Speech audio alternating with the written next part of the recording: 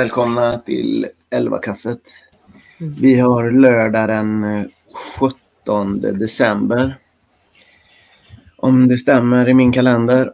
Och det tror jag nog det gör. Eh, dagens tema. Eh, positiva nyheter.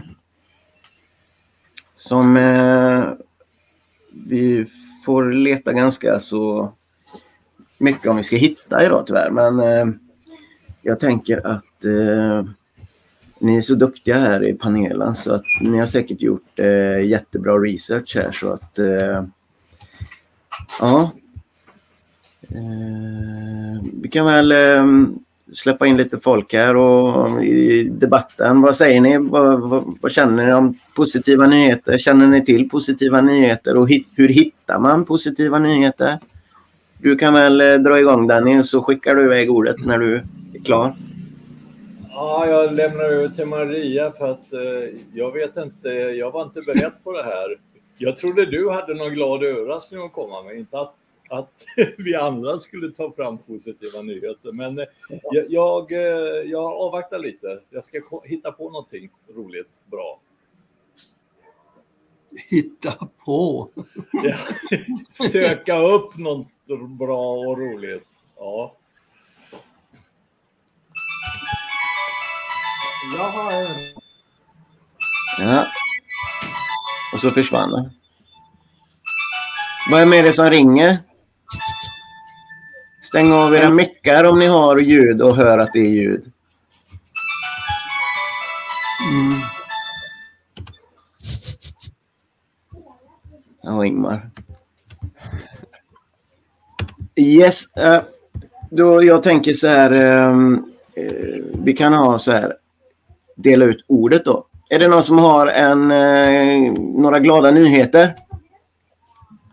Är det någon som hittar några glada nyheter? I, ja, du får la börja då Ingmar. eh. Du har mutat dig själv så du måste unmuta dig. Ja. Nu försvann ljudet. Ja, jag kan ju bara hälsa dig att nu är jag på morgonkulan här. Har jag satt nästan punkt för sista kapitlet i den här boken som måste komma ut i år. 400 sidor om aids och corona.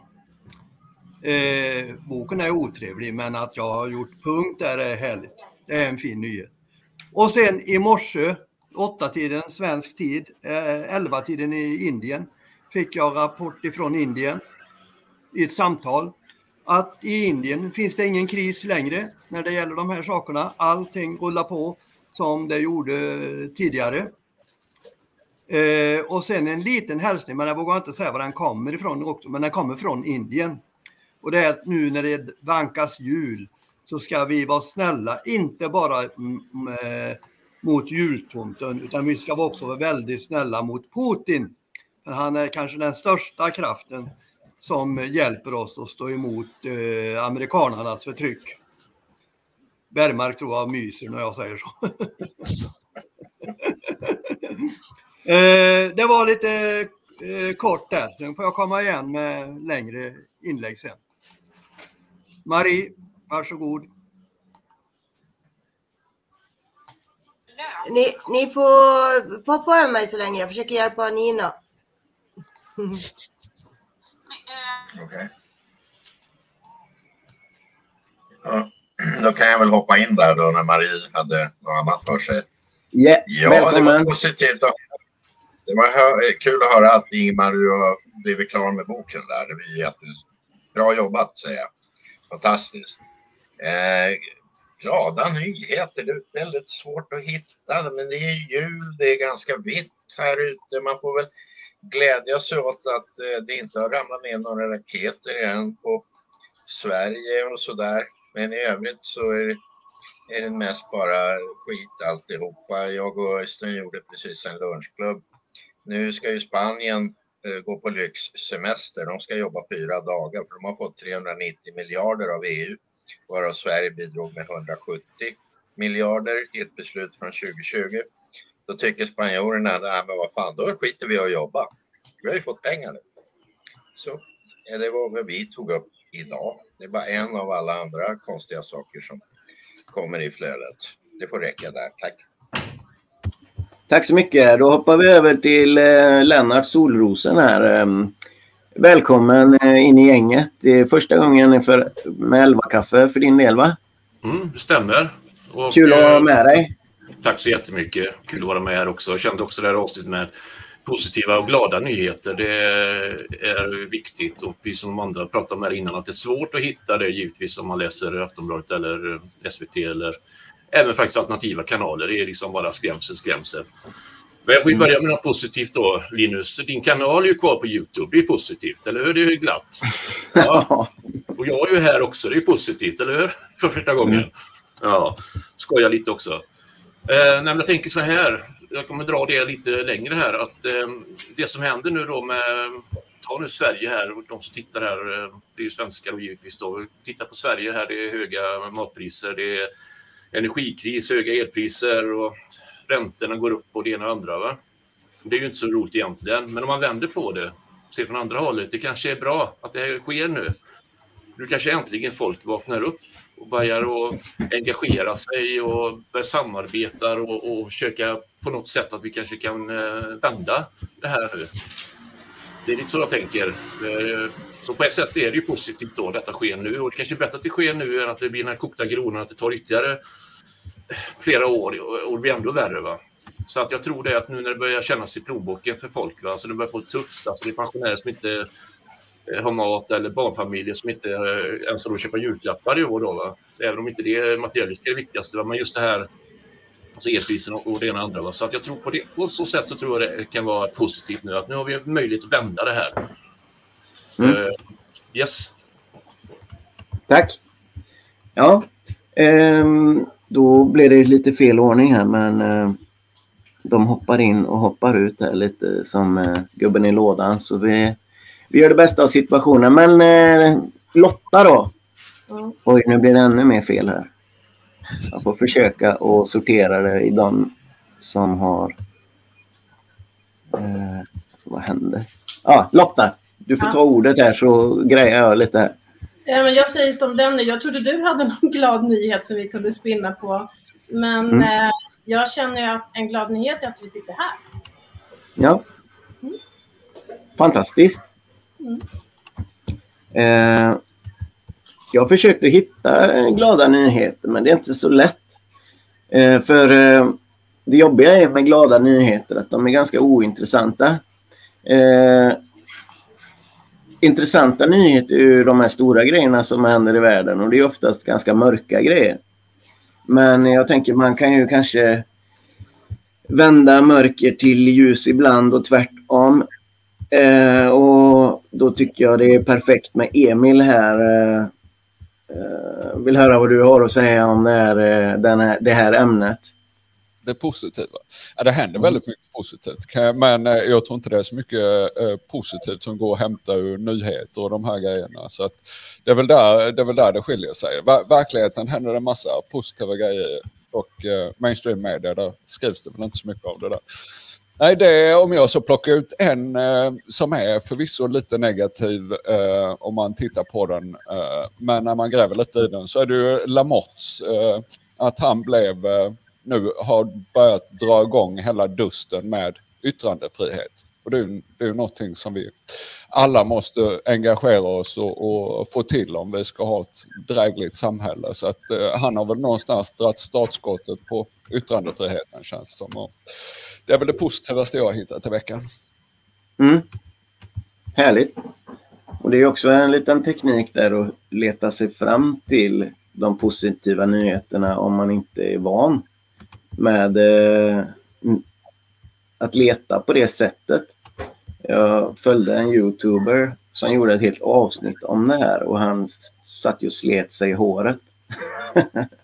För att komma fram till de positiva nyheterna så är man ju tvungen att liksom dra igenom hundra nyheter som inte är positiva. så att eh, Men jag tänker jag har lite um, en, en liten spin på det här sen. Så får vi se. Eh, men eh, då var vi framme till Henning Witte. Välkommen. Ingen ljud där. Vänta. Nu unmutar jag dig. Nej, du, du har unmutat dig själv, eh, Witte.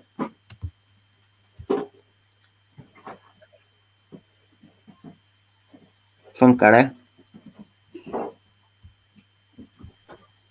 Alltid ska vara teknikstrul när man uh, går i sändning. Jag har inte gjort någonting. Nej, nu funkar det. Bra. Låt det vara där. Välkommen. Hörs jag nu? Ja. Ja, Yes. Alltså jävla shit. Alltså.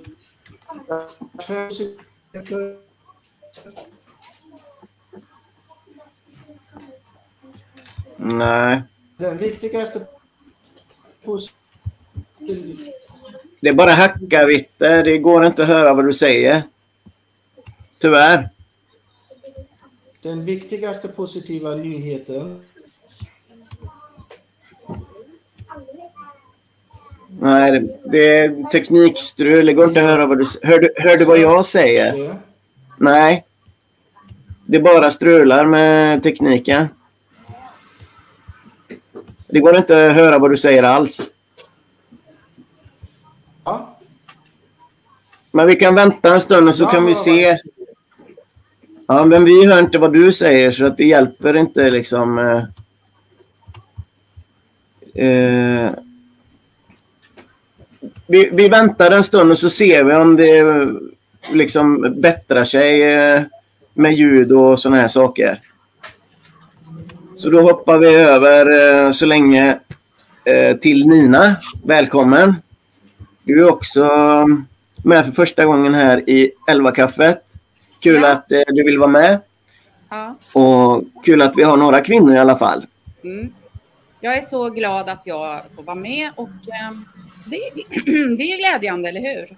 Ja, Ja, och ehm, anledningen till att jag sa ja, eller delvis, det var att jag var så trött på alla allt tjafs och allting som är på sociala medier och det är konflikter hit och dit och det, och det vill jag vill inte ta in det. Så att när jag fick höra att det skulle handla om goda nyheter och glädje och kärlek så tänkte jag att yes, där ska jag. Så att ehm, ja, vi kan ju börja med att le allihopa för då lurar man gärna lite att man är glad. Då blir man lite gladare, eller hur? ja, Mm, precis, smile. ja. ja, och sen så blev jag glad. eh, Jag har inga goda nyheter att komma med, men jag blev glad när jag såg en film på, på Facebook i morse eh, och då var det två kvinnor eh, som hackade hål i isen och vinterbadade. Och det såg så fantastiskt härligt ut. Eh, Så att jag blev så taggad av det och glad. Så att, och solen skiner här idag också. I Tyresö. Men jag tror inte att den håller så länge. Men jag har varit ute med hunden i alla fall. Men blev du så taggad att du hoppade i själv eller? Nej, alltså jag har bara höstbadat. Ja. Men jag tänker börja vinterbada. Eh, Så Mm. att jag tror inte att jag kommer ha några problem. Det ser fantastiskt ut. Mm. Eh, Och det ska... Ja, nu vill- eh, Denny säga någonting ser jag. Men, ja, Mm. men det var bara det jag skulle säga. Så Ja. vi leker allihopa lite, skrattar lite så blir vi glada. Ja. ja, Ja, Denny. ja, nu kom jag på en bra nyhet, eller glad nyhet. Det är ju att Elon Musk på Twitter har eh, släppt loss det fria ordet. Att eh, inte alla kanske, jag hade ju hoppats att han hade släppt in Alex Jones och Infowars också, men eh, det kanske kommer så småningom. Det var väl kanske för drastiskt steg att ta på en gång. Men det lustiga är ju nu, nu klagar ju vänsterblivna då över att eh, några från deras sida har blivit avstängda för att de har doxat eh, Elon Musk och hans son. Alltså de har, de har alltså lämnat ut deras adresser, var de är och var de befinner sig. Och det är inte, eh, det är inte schysst för att eh, det- är direkt att uppmana folk gå dit och, och spöa den jäveln eller göra något dumt liksom. Så att det är väl, ja, Eh, då klagar vänstern och EU pratar ju om sanktioner och så vidare. Men var det någon som sa något överhuvudtaget när, när Trump blev tystad? Då var det ju väldigt tyst i media. Det var ingen som protesterade och tyckte att det var fel då. Då var det okej att censurera. Så det, det är ju så vänstern är. De, de tycker det är okej att censurera vår sida men de gillar inte att själva bli påhoppade. Och, det, och sen en annan god nyhet, eh, eller nyhet, god nyhet, det är väl att eh, eh jag såg Tacke Tucker show då att eh, de skulle släppa loss alla de här dokumenten om eh, mordet på Kennedy. Att vi skulle få reda på liksom mera om vad som har hänt. Jag kommer ihåg då 2017, då lovade ju Trump att, att av, eh, alltså, vad heter det? När man tar bort hemligstämpeln. Eh, han lovade ju att göra det, men han gjorde inte det. För att eh, då levde ju fortfarande det här ärkesvinet eh, eh, pappa Bush. Och han var ju tydligen inblandad i det här attentatet mot Kennedy. Det var ju en komplott med Dallas på FBI, eh, LBG Johnson, CIA och så vidare. Så att eh, Trump vågade inte gå hela vägen och han hade väl press på sig från djupa staten antagligen, eh, en någon hotbild på sig. Att nu håller du käft, du, nu, nu släpper du inte nu släpper du inte ut dem mer, så det är ju fortfarande, jag tror det är 25 000 dokument som fortfarande är hemligstämplade. Men jag hoppas ju att eh, det var tydligen någon visselblåsare som hade kontaktat eh, Tucker Carlson och eh, ja, jag ser fram emot att allting släpps, släpps fritt. För det var ju inte någon Lee Oswald som gjorde det här, det är, ju- det är ju bara bullshit. Det, och det kom ju kulor från alla möjliga håll, så att det var inte bara en skytt, utan det var ju flera skyttar. Ja, tack för det. Tack. Då kör vi Marie här och du har ju skickat mig ett par klipp som du vill att jag ska spela upp.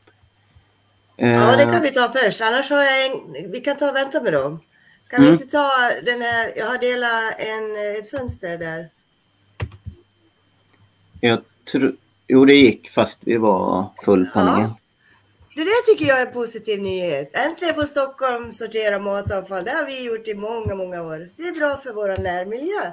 Så det är kanon. Ja, Så det, och hop- hoppas att det fungerar sen också, att eh, folk sköter det. Precis, men eh, det ska de väl förhoppningsvis göra till slut. Eh, Mm. Men Stockholm, på många ställen i Stockholm har de ju varit väldigt sen ute med det där måste jag säga. Mm. Eh, här i våra krokar då är det obligatoriskt typ överallt och har varit i många, många år. Mm. Så Ja. det tycker jag är en positiv nyhet. Mm. Ja, tack. Men de här klippen då? Vi kör dem tycker jag. Ja, kör, kör Det är ju, de är det är bara kortisar. Ja, Varför en. fick eh, pojken en elchock när han satt på toa? Åh jävlar du. Det kom en kabel ur röven på honom. En kabel ur röven. Stackars jävel. Nej. Det kom en kabel ur röven.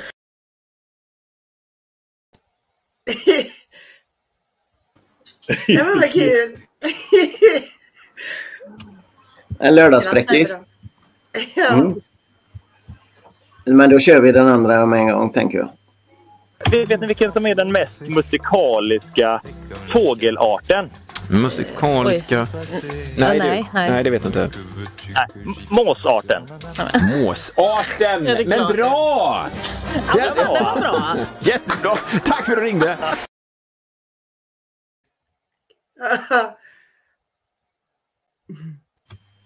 Ja, men det- Tre gånger ska man skratta idag, så vi skulle haft ett till. Ja.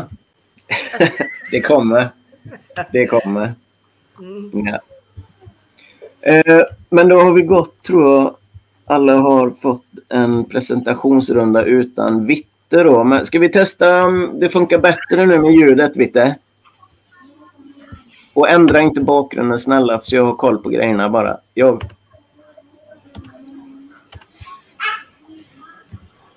Funkar det bättre nu för dig, Vitte?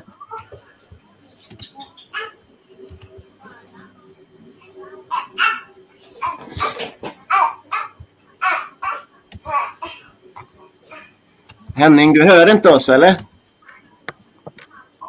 Nej, jag tror inte det. Nej. Ja, det är lite synd faktiskt. Eh, men eh, ja, vi går vidare då till... Eh, tiden. Ja. Ja, det är någonting med tekniken som inte funkar i alla fall. För ljudet funkar extremt dåligt. Så vi, vi kan inte höra det. Om du hör vad jag säger nu så får vi nog försöka en annan gång faktiskt. För eh, ja, det, det är för dålig teknik helt enkelt. Jag är ledsen eh, Henning. Eh, Men i alla fall, jag tänkte så här. hör vad du säger.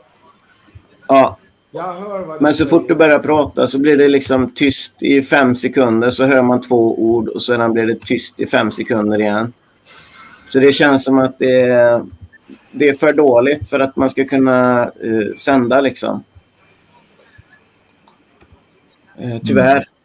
Men vi kan göra någon egen grej när vi får ordning på tekniken faktiskt. Nej, det går inte. Vi hör inte vad du säger. Jag kan ta en ny godhet Ja, som jag jag har gjort ihop med Henning. Om jag får det. Ja, för jag, det, det känns inte meningsfullt när det är så dålig teknik. Ja, så kör du det- Ingmar där då. I, Det är jag och Henning som har fabricerat den nya stora fina nyheten. Och den nyheten är att Mats Löving är på vår sida. Mm. Mats Löving, ställföreträdande rikspolischef. Och det har vi kommit fram till för vi har granskat Expressen vill sätta dit han. Han är farlig för etablissemanget. Och han står på folkets sida. Och det jag pratade ju med han eh, någon gång tidigare i år på Norrmalmstorg. Och frågan då på vilken sida är polisen då? När det gällde grundlag och pandemilag. Vi är på folkets sida sa han. Och de som inte vet, han var ju den som pratar rent språk ut. Han gick ut i någon tv-konferens och sa att det finns, det är inte fråga om gängkriminalitet. Utan han sa, det är, det är fråga om 40 klaner här i Sverige som har en organiserad brottslighet. Och där skulle jag vara fräck, eh, men det har jag inte frågat han än. Jag tror att eh, 38 är, har kommit till Sverige relativt nyligen. Från Mellanöstern och Jugoslavien och så vidare.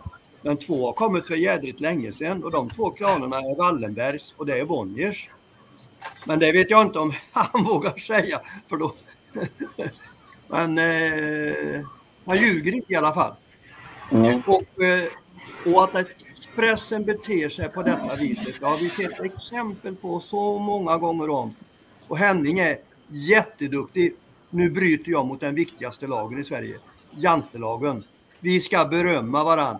Alla ni åtta jag ser är ju eh, kanonbra. Och vi håller Linus uppe med det här programmet. Eh, vi är förbaskat dåliga på det. Men Henning är, vet du fan som inte han är ännu bättre. Eh, ge han beröm för hans grävande är så fantastiskt. Eh, I allt när han går ner i kaninhålet och kommer upp med de mest osannolika saker först tror man va. Men börjar man granska så har han fast med eh, haft rätt i så mångt och mycket. Det är bara att han kanske ligger i vissa ärenden ligger han tio år före oss andra i tid. Va? Men jag och Henning, vi har hittat varandra, vi hjälper varandra och nu ska vi stämma Expressen enligt den här, någon pratar om den här spionerilagen. Mm. Men, vet, men sen är det då också, det kan ju vara lite humor över det. Eh, straffet de ska få då, om vi stämmer Expressen, är ju att alla Expressens journalister ska skriva efter sanningen. De ska inte längre lyssna på sin arbetsgivare. Och de ska granska den verkliga makten i Sverige. Så pressjournalister ska ha full frihet att granska. Eh, och inte lyssna på sina chefer som heter Bonnier i efternamn. Det är, ty- tycker jag är en bra... Ja, det blir en polisanmälan där. Ni får hjälpa till. ja. Ja, ursäkta, det var, det var Henning Wittes inlägg. ja, det är bra. Eh, det brukar vara lite struligt med... Eh, nu är det en massa oväsen i bakgrunden så muta er ni som eh, inte... Oj. Nu blir det jättemycket oväsen här. Ja. Eh, och då kommer det, dyker det upp en Tom Lutmark här. eh, som är på väg till något fint ställe i Sverige. Han har med sig en kompis med. Eh, Hej Tom! Det är min Hur kompis. mår du? Ja, jag är med. Jag är med. Hej! Ja, jag, jag Eh, har en kompis här också. Jajamän. härligt. Eh, har du några positiva nyheter till folket? Ja, det är ju att jag hann med tåget och att jag eh, lyckades att uh, hinna i tid så att jag är på väg till Umeå för demokratifesten där idag. Ja. Ja. Och att, jag fick, att det gick bra, enligt mig gick det bra på kontrollen igår när det var där. De där otäckingarna från Västerbotten i Umeå, det är ju helt sinnessjukt. Skattebetalarnas pengar gå till detta va. Det är ju inte klokt va. Men eh, jag tyckte jag skötte det bra. Jag var lugn och jag var rätt dryg mot dem på ett ja, befogat sätt så att säga. För de eh, tog på sig skoskydden. Det är grundregel nummer ett. Jag satte dit den på. Tog på sig den här skoskydd utanför. Där började det. Ja. Eh, vad ser du behövs göras nu då för att eh, vi ska, det ska bli bra för bönder och grejer eh, i Sverige? Ja, det är bara att köpa lokalt med de eh, bönderna och stötta dem liksom. Eh, ge dem en klapp på axeln liksom och ja, det är väl det ni kan göra liksom och sen sprida här liksom. Vi gör ju grejer nu, jag och Marie bland annat här då. Uh, imorgon kommer vi kanske göra något och sen med och sånt här så det är bara att sprida. Och mm. kommer ut och övriga så går ut och lite mer. Det är tipset.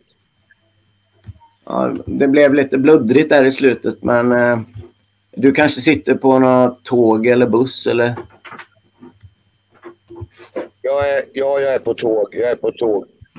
Ja, då får man ta det här men eh, att det blir lite bluddrigt. Men jag tänkte, jag tänkte visa här. Eh, jag är väldigt fascinerad av en komiker från eh, 30-40-talet. Eh, Charlie Chaplin. Och han spelar ju en film 1940, The Great Dictator. Och där håller han, tycker jag, ett sånt ruskigt bra mm, inspirationstal eh, som diktator. Så jag tänkte att jag snackade med Emil om det här igår. Det är, är eh, nog kanske det bästa talet som har eh, skrivits. Så tänker man på allt eh, som händer idag kopplat till Alltså det här är 80 år sedan, 1940. Eh, och det känns precis som att han skulle kunna dra det samma tal idag, att det fortfarande är lika aktuellt. Så jag tänker vi kör det.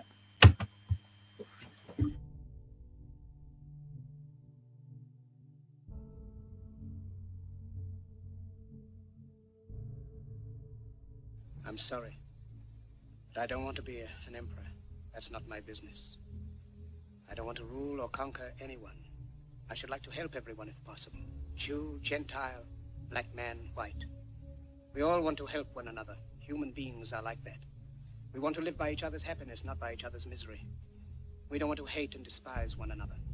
In this world, there's room for everyone, and the good earth is rich and can provide for everyone. The way of life can be free and beautiful, but we have lost the way. Greed has poisoned men's souls, has barricaded the world with hate, has goose stepped us into misery and bloodshed.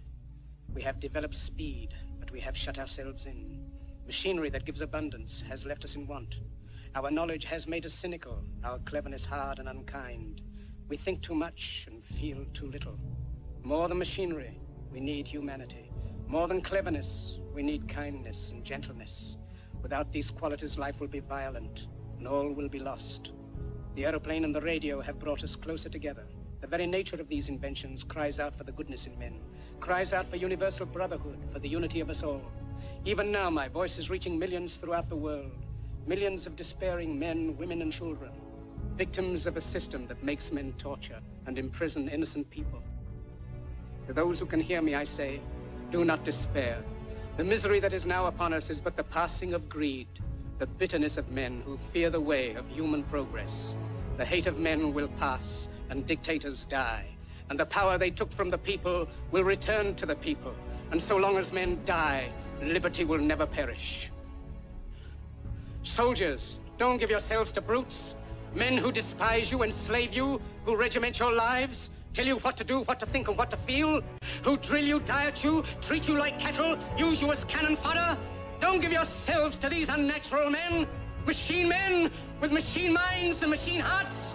You are not machines, you are not cattle, you are men. You have the love of humanity in your hearts. You don't hate, only the unloved hate, the unloved and the unnatural.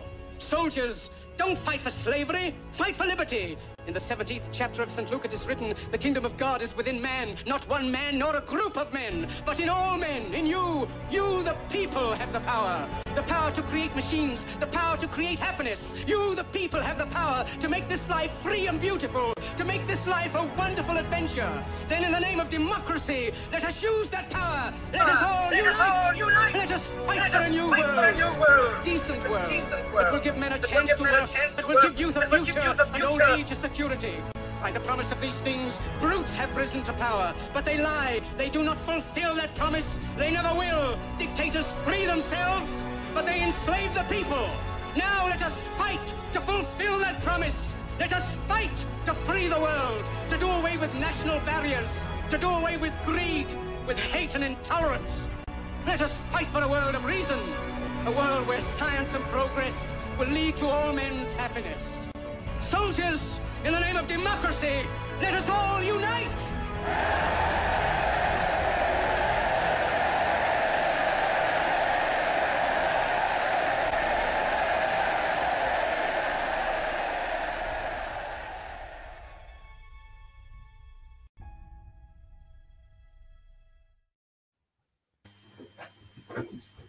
Jag Nu ska bara... jag, nu ska jag få igång Bergmark där. Nu har du sett en kommunist prata.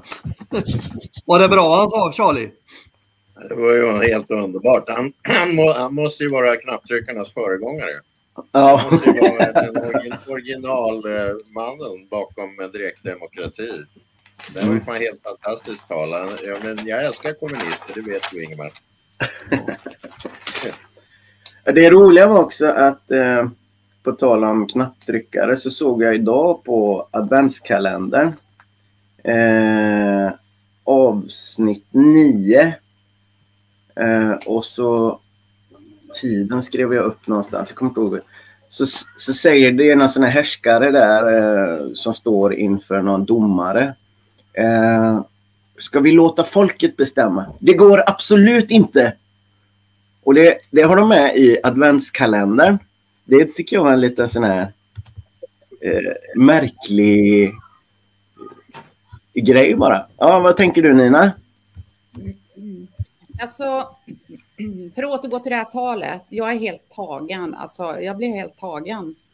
Ja. Eh, Och nu ska jag försöka inte börja gråta, men så blir jag helt tagen av någonting. Eh, Det är ju så enkelt. Alltså, jag älskar det där att vi måste ena oss. Vi måste ena oss och resa oss och det är så enkelt. Jag, um, oh, tänk om vi alla kunde göra det. Alla, jag vill bara säga så här också. Alla här som sitter här som har egna kanaler och egna Uh, ni är så bra och uh, Lotta, Lennart, Ingmar, Håkan och Öystein.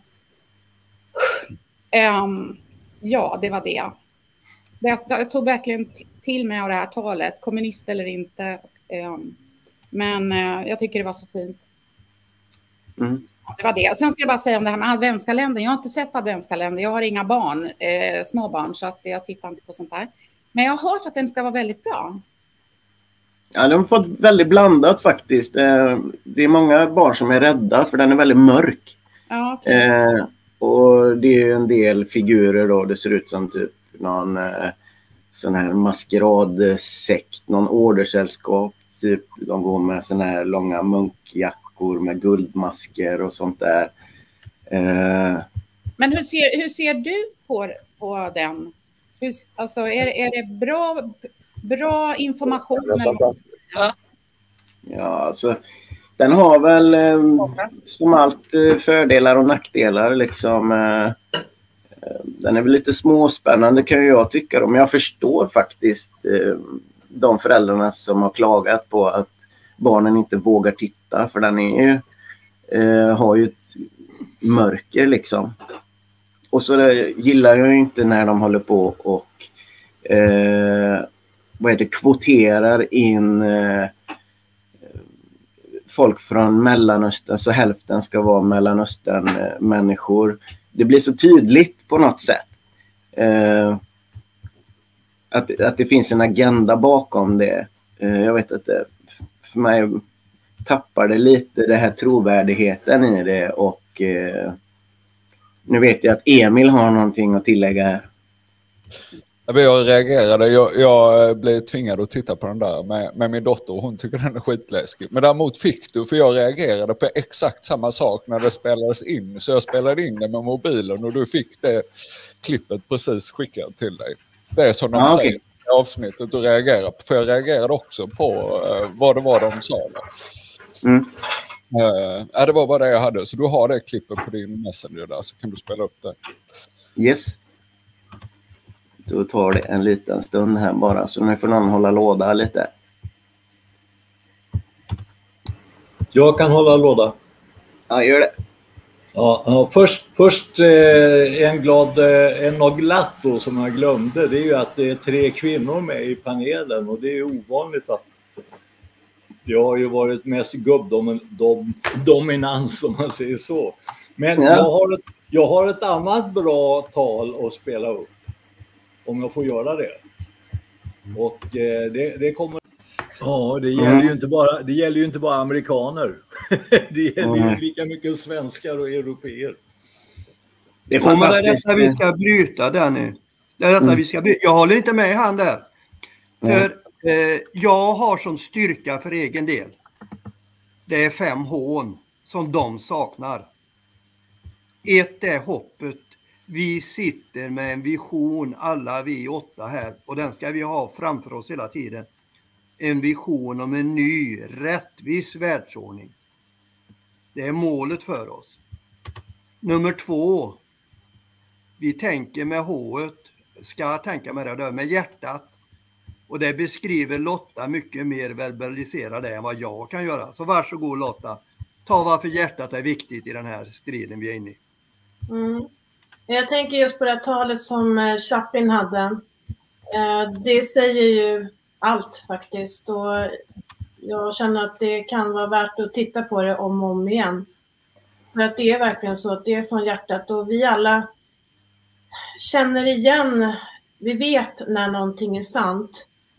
Och eh, jag tror inte på att någon vill vara elak eller dum eller någonting, utan jag tror att alla vill vara kärleksfulla, men att de har tappat, precis som Charlie säger där, att de har tappat bort kontakten med sig själva.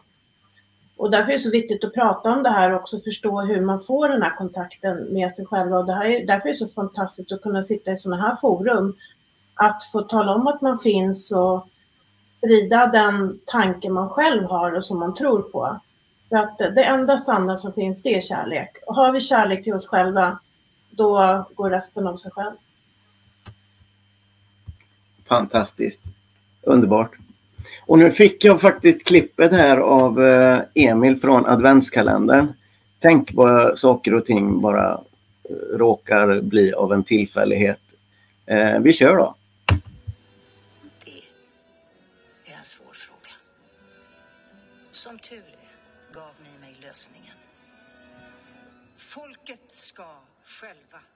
Få välja. Folket? Är det helt från vettet människa?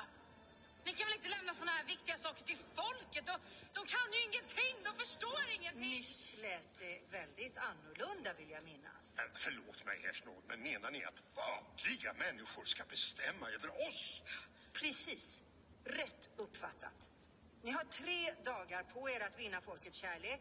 Sedan blir det omröstning och segraren, det blir vår nästa monark. Ja. Ja, jag tycker det var helt fascinerande. Jag trodde inte mina öron när jag hörde det här. Att de lägger det i en julkalender. Eh, hade du sett det också Emil eller? Eh, Jag reagerade på det när, när jag såg det, eller när min dotter tittade på det så reagerade jag på vad det var de eh, egentligen sa där. Eh, det en, eh, om vi nu så pratar programmering så är det väl en, en positiv programmering av våra barn kanske. Ja. Ja, ja, ja. Det, det, det kändes nästan lite overkligt. Ja. Vad hade jag på mer här på min... Eh... Jo, får man lov att skoja om allt det här med humor då? Eh, jag höll på att garva ihjäl mig. Eh, jag har så konstig humor. Eh, har ni sett den här Pfizers adventskalender eller? Nej. Här har vi lucköppningen då.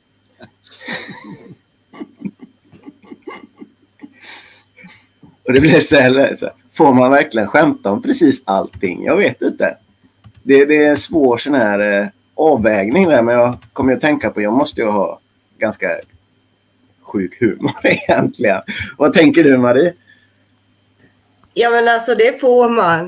Eh, Sen är det upp till var och en om man lyssnar på det eller inte tänker jag. Eller hur? Ja. Jo. Men eh, du då Ingmar? Får man, eh, du som har varit med så länge. Och... Eh, ja, ja, men eh, då gör jag så här nu. Nu är jag inne på mitt tredje H. Och det är så för humanitet. Mm. Eh, det har inte globalisterna. De har, de har ett annat H, hat. Och det vill de sprida mellan oss.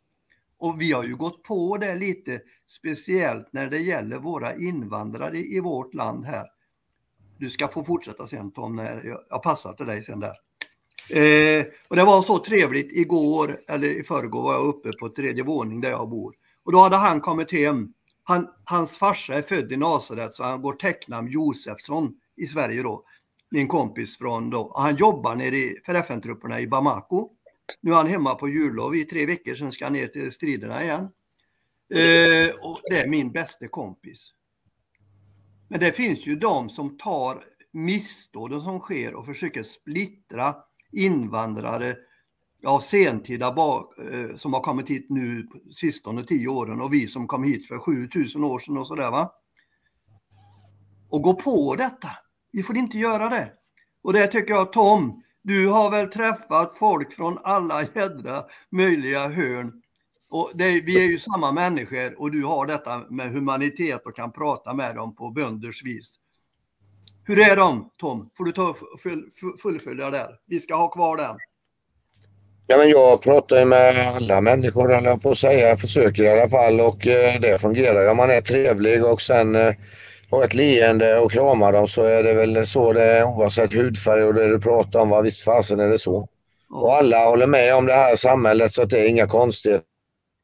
Det är, det är så. Det är väldigt få som jag hör som absolut inte håller med. Det är några äldre i den generationen som är runt 60 som har det lite för bra och inte vill och orkar. Liksom. Men övriga, särskilt ungdomar, de är väldigt upplysta även om man inte tror det. Det är de faktiskt. Pratade med många unga tjejer också som då kom fram efter demonstrationen då när vi var på Sergels torg som stod i bakgrunden lite och ville prata efter. De berättade hur det var då i skolan med eh, vad heter det, sjuksköterskan här. De ville nästan Får ni inte, har ni verkligen bra hemma då va, och så, va? så att, Men alltså, nej men de, eh, det finns hopp om framtiden, det gör det verkligen. Även om det är väldigt, väldigt mörkt på många håll. Och det vi gjorde i Stockholm igår kan jag säga utan att säga mycket detaljer är att vi planerar och det var jag, Marianne, Åsa och några fler då som inte är riktigt är inne i projektet är att vi vill ju få bort det här med alla självmord då, va? så vi kommer jobba stenhårt med rätt tunga aktörer för att få ihop det här, eller få slut på den psykiska ohälsan. Och det handlar om att vi eh, gör som på min gård, att man får komma och umgås med djur. Man kan vara sig själv och man har ett trevligt samtal och det är högt i tak, det är humor och man eh, man är ifrån som många gör idag om man inte tycker samma sak. Utan man lyssnar på varandra, man kan ha öppna diskussioner och det är mycket, mycket humor som vi bygger. Om det är så fruktansvärt tungt i livet så måste man kunna skratta. Det är väl så. Va? Så vi jobbar stenhårt. Jag åker upp till Umeå då för att jag vill träffa folket där och de har planerat detta ändå. Att de försöker sätta käppar i hjulet för mig då när de kom. Faktiskt från Umeå, vilket är sjukt, och gjorde den här kontrollen. Jag skulle till och med kunna åka med dem kanske. Det frågade jag, men det gillar de väl inte. Det var väl det. Ja, tack. Eh, och jag tänkte säga nästa vecka så tänkte jag att vi ska köra en önskelista. Så jag tänkte, jag brukar ha så dålig framförhållning så jag säger redan idag. Eh, nästa vecka kör vi en önskelista. Det blir ju lite så här eh, trevligt eh, inför eh, julledigheter och sånt där. Eh, aktuellt kan man säga. Eh, och så tänker jag att eh, jag vill tacka alla som tittar. Eh, stötta gärna kanalen. Vi har Swish nere till eh, höger här. Och så tänker jag att vi kör en liten avrundning. Eh, vi har 222 eh, tittare just nu. Eh, ett magiskt tal tror jag det är för vissa. Eh, Men eh, eh, ja, ni, vi kan väl eh, köra en avslutning här. Eh, Denny kanske har någon mer video han vill visa. Eh, och så skickar vi vidare ordet. Nej, jag har inget mer att visa just nu, men eh, jag la ju upp den här George Carlin, inte för att göra folk deprimerade, utan det var ju, det är ju meningen att jag lägger upp sånt, det är ju för att väcka folk.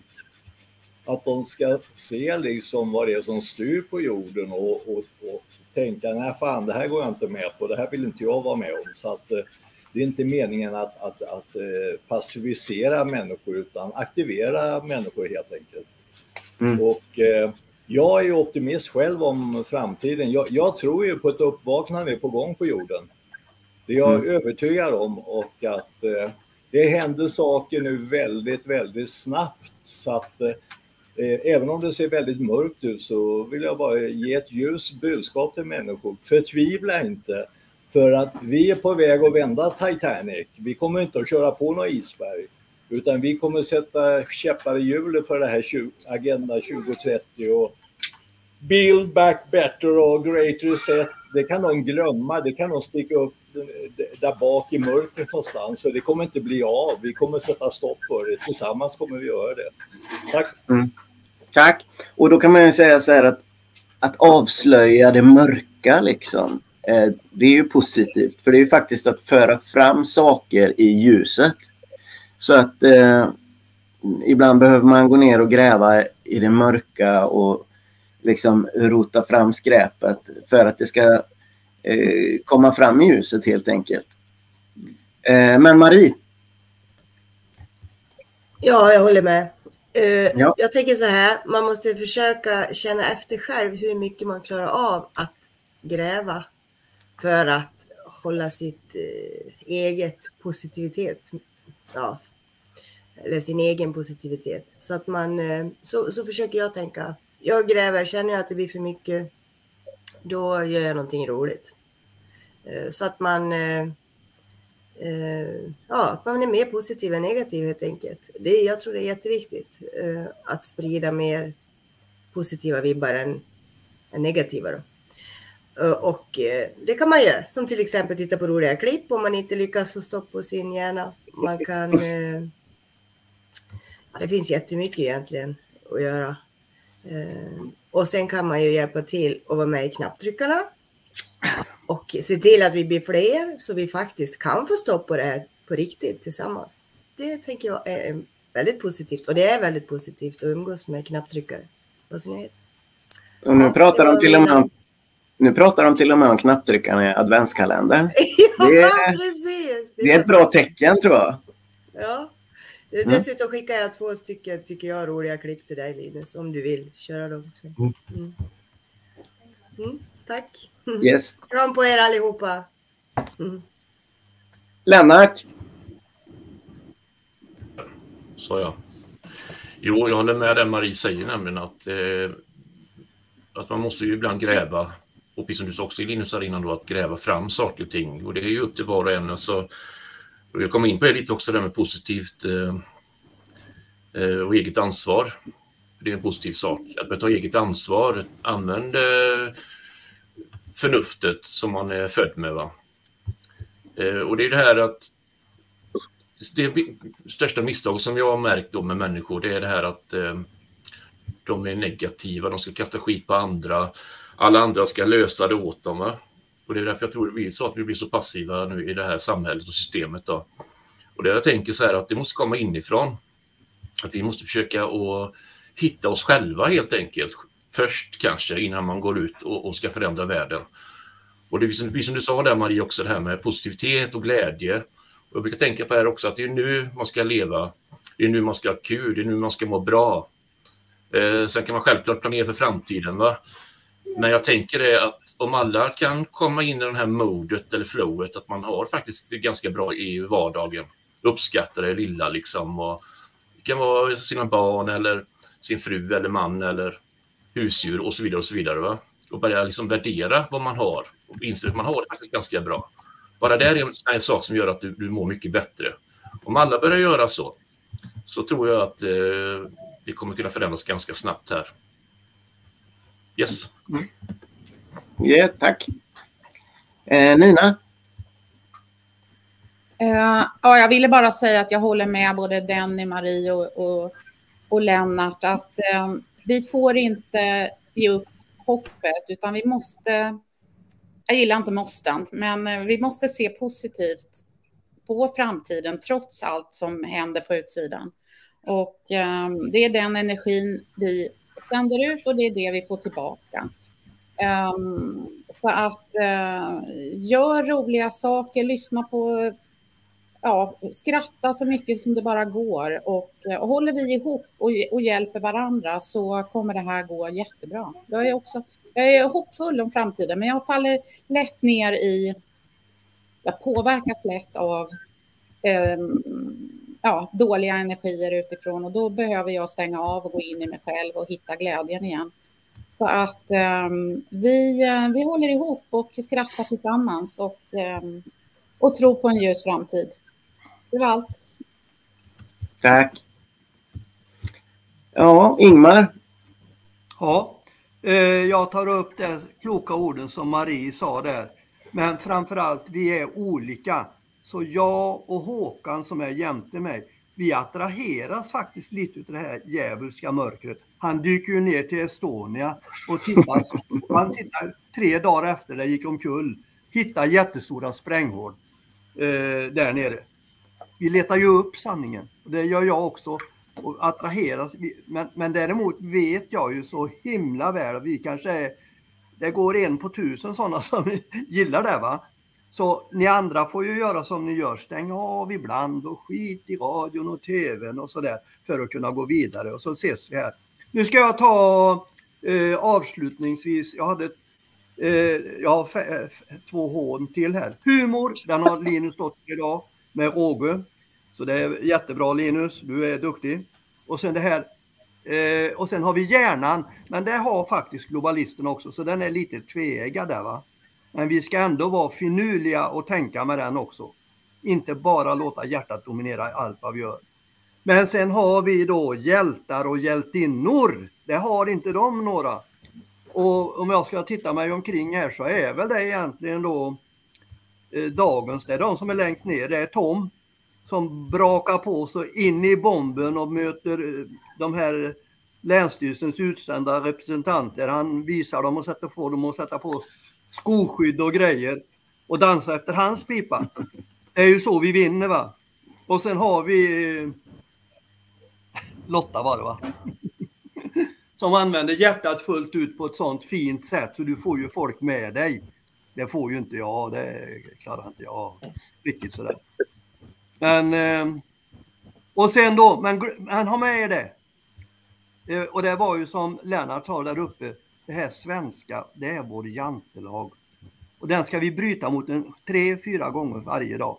Och vi ska berömma varandra. Det kan inte en svensk som är under jantelagen. man, man trakasserar den istället. Så jättestort beröm till alla, nu ska vi se hur många är ni här, nio stycken. Jag kan ge mig lite till mig själv också där, jag behöver det. Eh, beröm för er insats idag. Nu får Håkan säga något. Ja, tack Ingmar. Mm. Ja, jag har inte så mycket att tillägga, det var kloka ord. Eh, det är ju jättesvårt att vara positiv, men eh, på något sätt så måste man ju det. Annars så hamnar man i något form av mörker och pessimism. Va? Det, det hjälper ju aldrig att vara pessimist. Liksom. det löser ingenting. Utan trots allt elände så, så fungerar jag i alla fall som en gås. Sprutar en jävla massa skitvatten på mig så rinner det av. Så eh, det är så man får se det. Eh, och uppskatta det lilla i livet. Och jag vill berömma alla som är med idag i panelen. Fantastiskt kul. Jätteroligt. Tack för mig. Mm. Yes, tack. Eh, Emil? Eh, ja, nej, men då tar jag och rider på Chaplin-vågen. Eh, jag tycker han avslutar det med egentligen nyckeln till hela det här problemet. Och det är att kan, kan vi enas så har vi vunnit. Så, så det är ju den här att försöka arbeta mot polarisering och det här och försöka komma tillsammans och mötas över det minsta gemensamma nämnare. Och det är väl att alla bara vill må bra liksom. Så ja. Mm. Tack. Tack. Tom Lutmark? Ja, jag lyssnar ju och det är ju bra grejer alla säger så det är väl bara att fortsätta och jag håller med om det. Nu är en tunnel här så jag hoppas det funkar. Det är hur mycket tunnlar som helst men de är korta den här gången i alla fall om det störs. Men jag håller med. Va? Beröm varandra, skratta, skämta med varandra. Skämta inte på andras bekostnad men gärna på er, bjud på er själva liksom och dra skämt och sen eh, ni ser mina klipp, alltså Sten-Gunnar skrattar. Alltså, det går att få alla att skratta, det är bara så. Va? Om man eh, då, va? Och sen våga göra grejer, var inte rädda. Vi svenskar är ju rädda för allting. Va? Nu får det vara slut med det bara. Gör mer som jag och ni andra här liksom och var lite uppkäftiga så att säga. Det är det enda vi vinner på. Vi gör, vi gör ju bort dem här för att vi har ju all fakta. Vi har ju all makt egentligen. Alltså det är ju bara att slå hål på det. Bara vi får bort den här att de gör oss illa, kan spärra in oss. Det är ganska otäckt att de har den makten. Va? Men jag, nu är jag ju friskförklarad två gånger så jag, inte, jag har aldrig varit rädd för det. Jag var inte rädd när jag var där inne heller. Så är det bara. Så att kämpa på. Vad sa du? Har du varit rädd för att vara frisk? Nej. Ja, det är inte bra att vara frisk heller. Men är man frisk åker man ju in ändå, så är det ju. Nej, men jag vill bara tacka Marie där också. Jag hoppas vi kan göra något imorgon för jag har många kontakter nu Marie. Många vill vara med så att vi snackar eh, sen tänkte jag. Och så gör vi samma format som var väldigt positivt då om det går bra. Mm. Och sen vill jag då hälsa till min nya vän här jämte också som har varit ett trevligt sällskap. Hej hej! Hej hej! Nej, men Jo, jo. hon ska också till Umeå här och uh, ha lite trevlig helg. Slut! Tack! Tom, Tom, du måste ge mig lite att jobba med. Material för dig bara. Mm. Det får du säkert. Ja, men jag har uh, färdigt. Jag kan ge det. Ge det, jag kan ge det. Jag hittar massa. Jag har mycket otäckt med barn igen. Du vet, det är, så folk kommer bara gråta. Så imorgon kör vi väl lite det formatet och sen kör vi varannan dag med djur. Jag tycker det funkar jättebra. Men vi ska inte blanda det utan vi kör som vi gjorde. Det var jättepositivt. Mm. Yes, thank you. Light of Lotta. Mm. Jag håller med det som har sagts innan och eh, det är ju verkligen otroligt viktigt att vara glad och skratta. Och eh, mycket som Tom pratade om, att inte vara rädd. För hur vi än vänder och vrider på det här så är vi alla i samma båt. Och om man känner att man då är rädd för att göra någonting eller att inte våga sticka ut hakan så är det ju så att joina de som vågar och stötta dem och de då som har kanaler till exempel, dela dem vidare, stötta dem på det sättet. För att jag tänker att jag vet att allting kommer bli superbra. Och det kommer gå fortare desto fler vi blir. Och jag känner att det är så många som förstår det här nu. Det går fortare och fortare. Så jag känner mig superpositiv inför alltihopa. Så att jag, jag skulle vilja uppmana att de som inte själva känner att de kan göra någonting, att stötta de som gör någonting. För det är otroligt värdefullt. Mm. Tack så jättemycket. Och jag skulle det vilja fylla i där med Tom Lutmark. Eh, man kan spärra in sanningssägaren, men man kan aldrig spärra in sanningen. Det var bra sagt. Ja. Då tar ett slutord. Du har tagit ett slutord eller?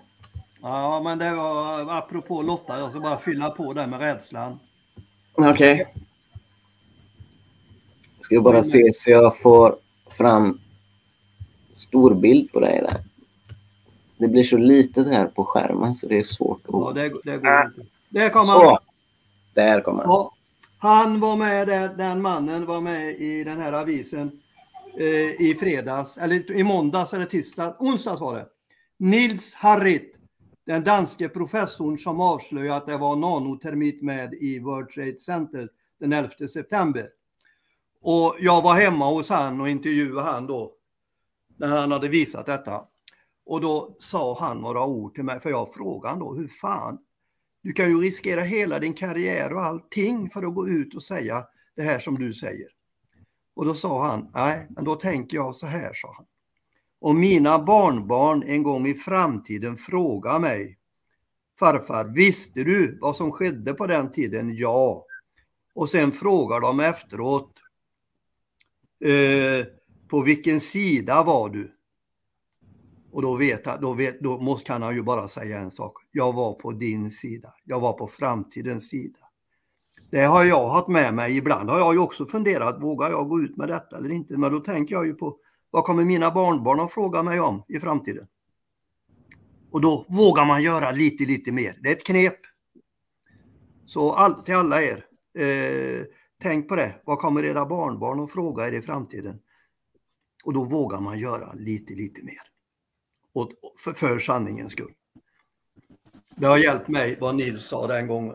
Har med mig. Tack Ingmar. Då tänkte jag att eh, innan vi, vi, kör, vi ska köra en extra runda här nu, tänkte jag.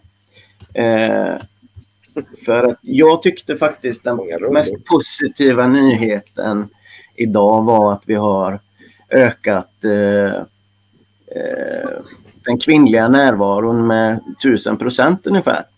Så att jag tänkte höra med er eh, tre överst här nu då.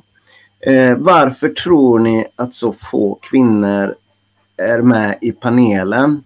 Och hur får vi fler att vara med i de här panelerna så att vi inte bara får gubbpaneler? Ja. Jag säger till dig.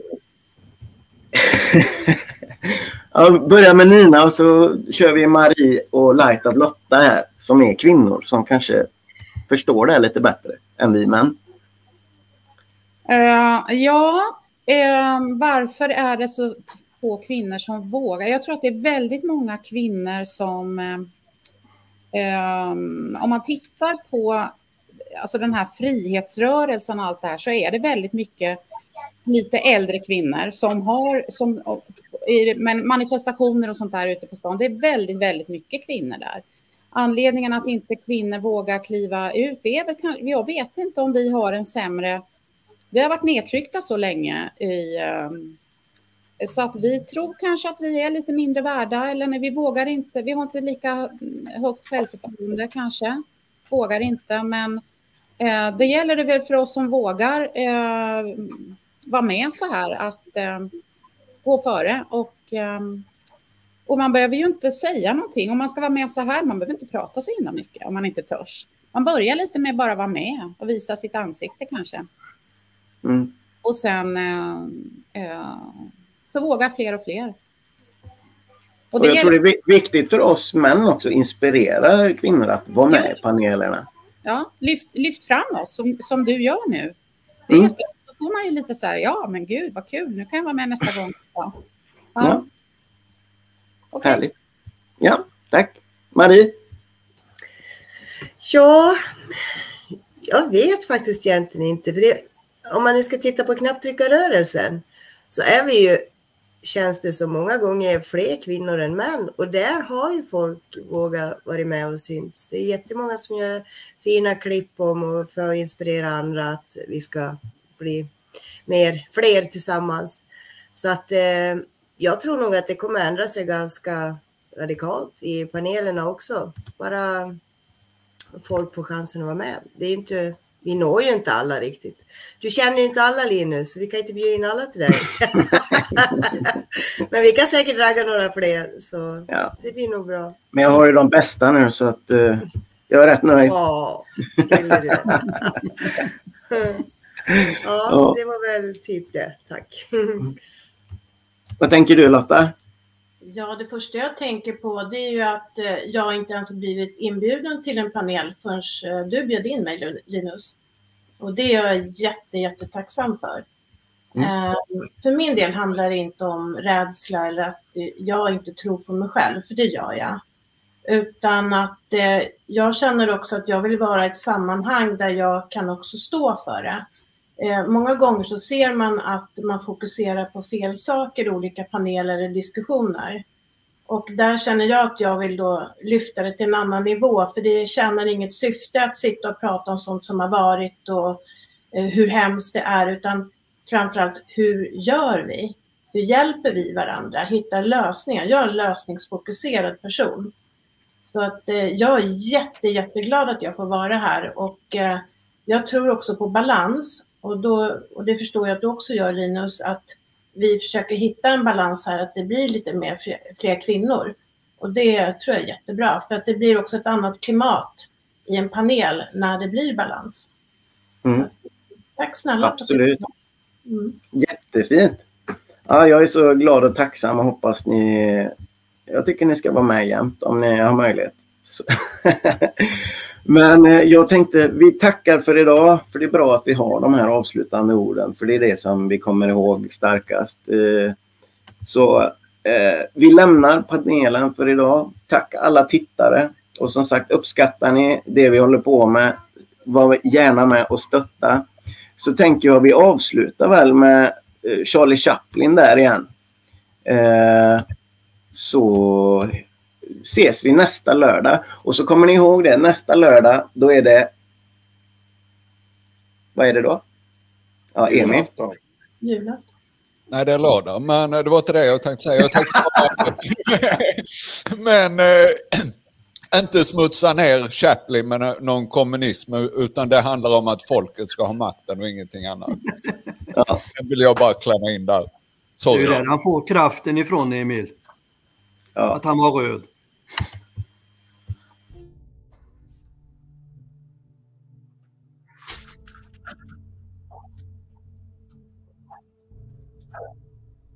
I'm sorry.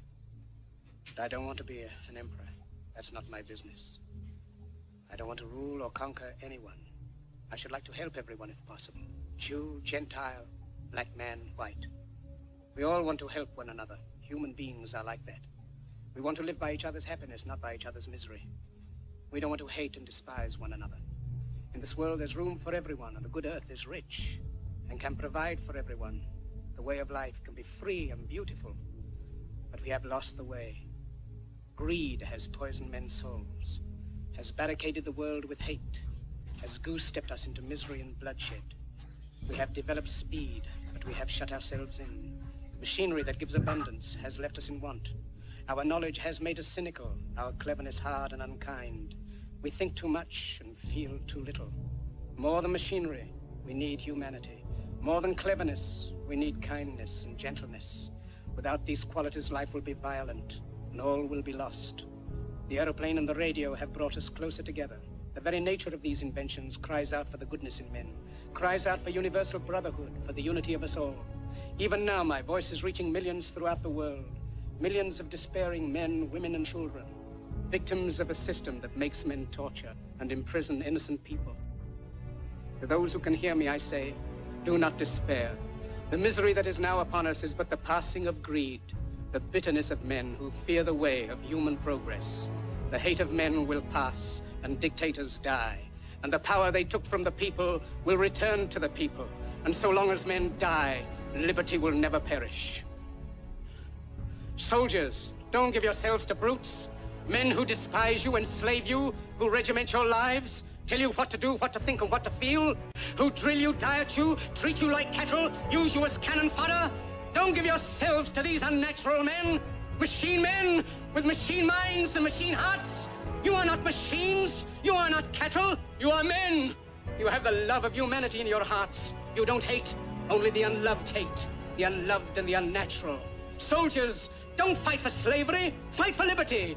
In the 17th chapter of St. Luke it is written, the kingdom of God is within man, not one man nor a group of men, but in all men, in you. You, the people, have the power. The power to create machines, the power to create happiness. You, the people, have the power to make this life free and beautiful, to make this life a wonderful adventure. Then in the name of democracy, let us use that power. Let us all unite.